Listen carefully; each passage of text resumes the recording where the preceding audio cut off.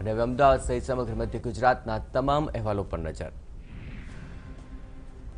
અમદાવાદમાં ચોવીસ કલાક દરમિયાન નવા એકસો એકાણું કેસ, જેમાં શહેરમાં એકસો બોતેર જિલ્લાના ઓગણીસ નવા કેસ સામેલ. ચોવીસ કલાકમાં ત્રણ દર્દીના મૃત્યુ, બસો એકોતેર દર્દી ડિસ્ચાર્જ. અમદાવાદ શહેરમાં અઢીસો અને જિલ્લામાં બાવીસ દર્દીને અપાઈ રજા. સ્વચ્છ સર્વેક્ષણમાં અમદાવાદનો નંબર તો આવી ગયો, પણ તમે શાહપુર, ખાનપુર વિસ્તારમાં આવેલી માઉન્ટ કાર્મલ સ્કૂલ પાસે નજર કરો તો હેરિટેજ કોર્ટને અડીને જ કચરાનો ઢગ જોવા મળી રહ્યો છે. અહીં કચરાના ઢગ ફેલાયેલા હોવાથી લોકોને પણ પડી રહી છે મુશ્કેલી.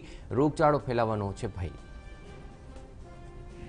આખરે સાત મહિના બાદ કાંકરિયા પ્રાણી સંગ્રહાલય ખુલતા પહેલા રવિવારે લોકોની અવરજવર દેખાય રવિવારને કારણે ભીડ વધવાની શક્યતા જોતા વ્યવસ્થાપકો દ્વારા અગમચેતીના રૂપે તૈયારીઓ રખાઈ હતી. જેથી કોઈ મુશ્કેલી ન સર્જાય. લોકોને માસ્ક સાથે જ પ્રવેશ અપાઈ રહ્યો છે.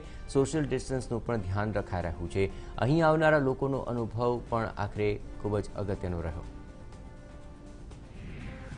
એક તોડ બાદ ટીઆરપી જવાન અમદાવાદના હાટકેશ્વરમાં જોવા મળ્યો. અહીં ટ્રાફિક પોલીસ સ્ટેશનમાં ફરજ બજાવતો ટીઆરપી જવાન એક યુવક પાસેથી છુપી રીતે રૂપિયા લઈ રહ્યો હતો.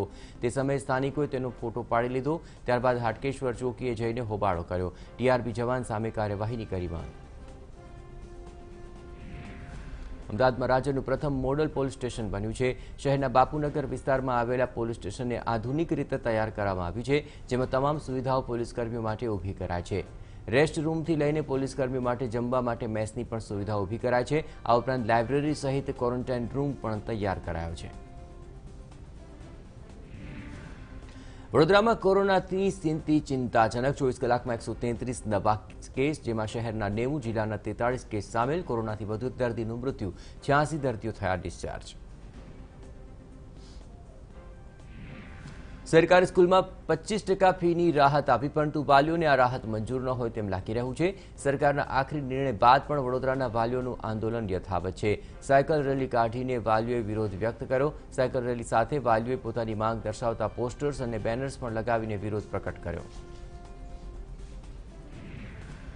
યુવતીનો બીભત્સ વીડિયો સોશિયલ મીડિયા પર અપલોડ કરવાની ઘટના જ્યાં છોટાઉદેપુરના બોડેલીમાં આવી છે. સામે યુવતીની મરજી વિરુદ્ધ દુષ્કર્મ આચર્યાનો એક યુવક પર આરોપ.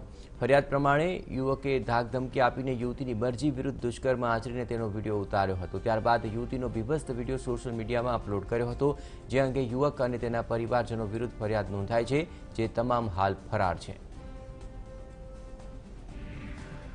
વડોદરા નજીકથી પસાર થતી મહીસાગર નદીમાંથી યુવતીના મૃતદેહ મળવાની ઘટનામાં નંદેસરી પોલીસે તપાસનો ધમધમાટ તેજ કર્યો છે.